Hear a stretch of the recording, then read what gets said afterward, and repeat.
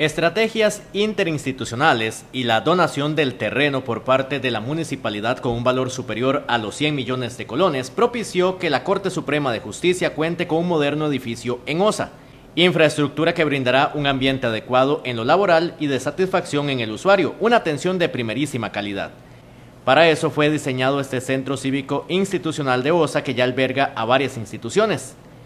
También en ese cantón, la municipalidad finalizó con la colocación de la carpeta asfáltica en la calle que comunica el cementerio con la escuela La Ubita, en Ubita.